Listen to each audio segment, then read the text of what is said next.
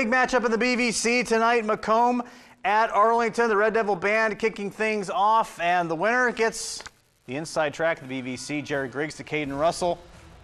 Russell picking up some nice yardage, brought down at the 49 for the first down. Good defense in the first quarter. Third and 12, McComb ball. Blake, Blake Whitmire throwing it. Griggs knocks that one away, attended for Chase Woodruff. Then McComb's defense in action. Lucas getting Lucas Fenstermaker getting the handoff, and a bunch of Panthers bring him down. Fourth and two. Griggs just about to get tackled, but pushes through, gets enough for the first down for the Red Devils. 30 seconds left in the first quarter. McComb finally starts to run. Woodruff to Andrew Swisher. Pickup of 12 yards. Three plays later, Woodruff to Braxton Althauser. 23 yards for the touchdown. Looking back just to make sure, it was going to touch him. McComb first on the board, and they win. That seven point lead is enough to give them the 27 20 win. Braxton Althauser with the game winning touchdown run with 45 seconds left.